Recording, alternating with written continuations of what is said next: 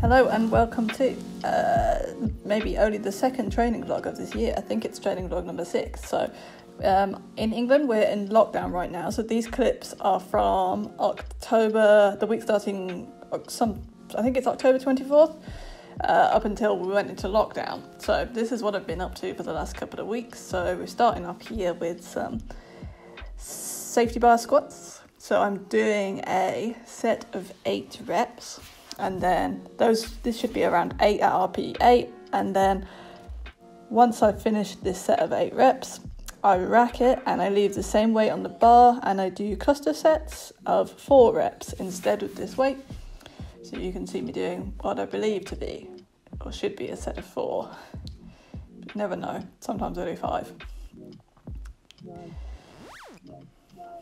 uh, yep so sets of 4 with the same weight uh, and I've just done several of those. I think I did three or four on this day, and that's what you're seeing here, just sped up. So this is just another way to get a little bit more volume in with potentially a heavier load on the bar than if I had gone down to RPE 7 or RPE 6 or RPE 5 or anything like that. Uh, for eight reps, but instead I've just left the same weight on the bar and it's much lower RPE because I'm only doing four. Um, I think some of them work out at four reps at RPE4, but don't check me on that. Uh, so the next exercise on this day was low incline bench press. So as you can see, I'm potentially, my skin is almost as white as the sports bra. Um, but that's not entirely bad. We are in October into November now. So I'm expecting to look like the snowman by next month. Uh, I like the low incline bench. I don't really like the high incline because I find it feels very strange on my shoulders and it doesn't seem to improve, but the low incline is good with me. Been doing quite a lot of low incline. Uh, so then I usually superset that with a bent over row just to save time. So I'm only in the gym for about an hour, an hour and 10 minutes. Uh, so the bent over rows, I'm just doing a set of 10 to 12, aiming to get 12 at about RP 8 but potentially RPE9 if we're on to the last set. That's fine also. And then to finish off this day, I had some accessory work. So the cable press down. You've probably seen me do a lot of cable press downs if you've watched any of the other videos. I just like these because I'm not limited by what I can hold with the rope. So it doesn't bother, it doesn't kind of incur any grip fatigue in the set, which would limit how much weight I could press down. So I like the V bar. I tend to do a lot of these. I usually do some variation of a tricep movement two or three times a week, uh, and that's been working successfully to give me bigger arms, which is nice. And I usually superset that with a biceps move. Um, I don't particularly like this rope, but this was what was there, and I was too lazy to change it to anything else. I don't really like the bar options that we have at this gym, so for curls, uh, for well, the bar attachment options at this gym. So I've just been using the rope, but yeah, I may change it. And then I've been finishing up my sessions with rowing. So I watched some Cassi Niemann, I believe is the lady's name, on YouTube. If you want to go and uh, Google her, she seems to be a rowing expert of some of some of some kind. So I've watched a couple of her videos on rowing, and I'm trying to implement her techniques uh, to become a little bit more of an efficient rower, seeing as this is something I've not really bothered with in the past, but now I'm suddenly interested in doing more of, so I've been rowing. Uh, so this is the next day here. I don't know which day of training this was. Maybe this was. Uh, I think this is day one. Yeah, this is the day one of the four sessions each week. This is the single, so work up to a single. I think it should be a one at seven, but it might end up being looking like one at eight. Yeah, kind of one at seven, one at eight, somewhere in between there. Looks all right. Didn't misgroove it. Uh, and then for the volume work following the single, I had eight reps. I've been doing eight reps at eight. And then I think I've been doing clusters of four with the same weight, either three or four clusters of four with this 40 kilo. Uh, so this is the eight reps at eight.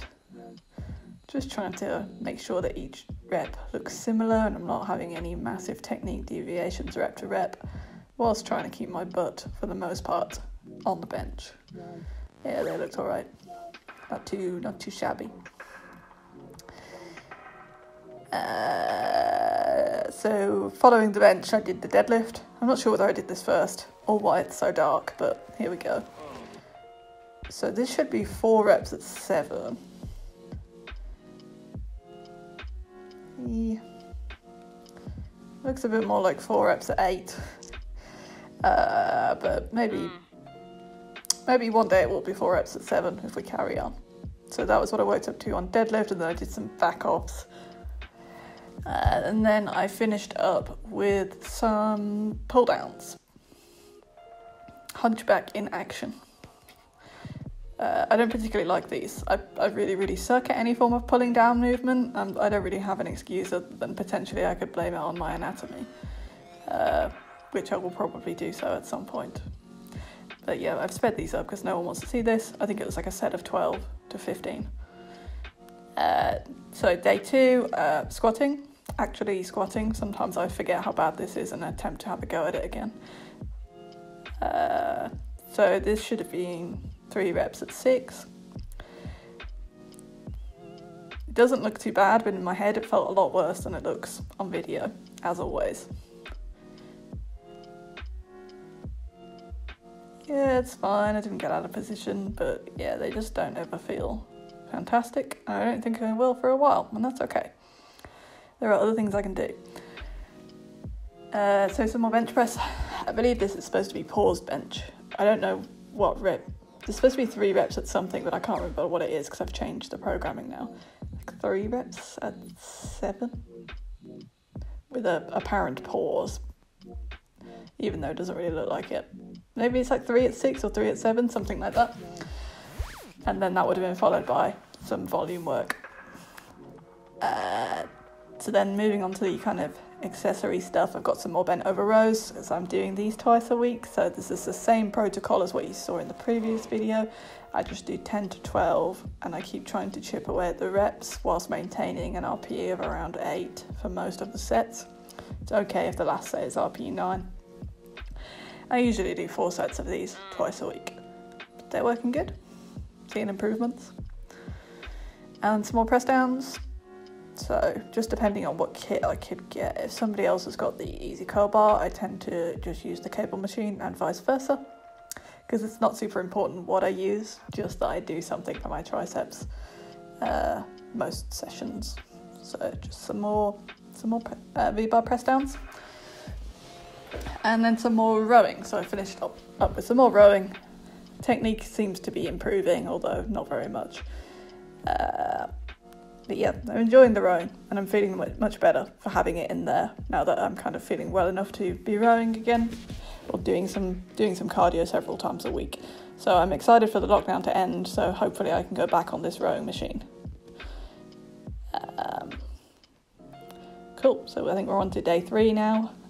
I started off with some RDLs. So these I'm just trying to use them for a little bit of extra muscle hypertrophy potentially a little bit of movement practice, but with a much lighter weight. So uh, I'm doing a set of 10 reps at seven. And then I think what I do is clusters of five reps with the same load. I think I did four clusters of five reps. Um, this is my blue Power Ranger outfit. It's very bright.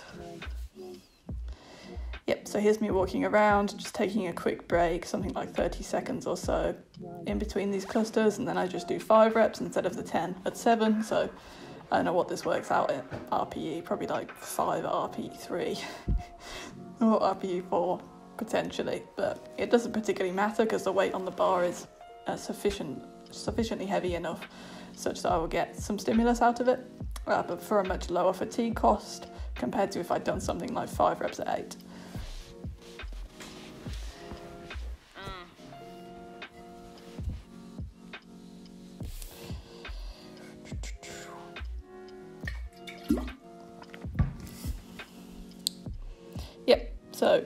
Think that's it for the clusters. I'm sauntering off as as I do. Uh, then I moved on to some low incline dumbbell bench press.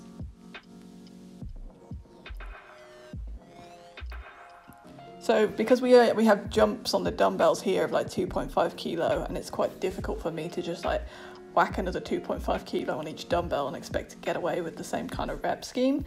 I tend to just have a play with the incline. So if I'm too I'm too good with like the 12.5s on the flat, then I'll go to an incline and then I'll just increase the incline with that weight so that I'm still getting a decent training stimulus without having to go up a dumbbell. So th- those are the dumbbell bench for this week, just doing that once a week. Uh, and then you, what you can see me doing here is setting up kind of like a very janky looking belt squat using the rack. Um, what I'm doing is I found using this counterweight. I got this the counterweight idea from, I believe, Zac at Data Data Driven Strength. Um, tried this out and this works a lot better with the counterweight, so I can properly sit down into the movement and get more range of motion. So there's more movement happening around the knee joint such that I should get somewhat better quad hypertrophy from doing it this way than leaning my torso over more and only having kind of like a 90 degree angle happening at the knee joint.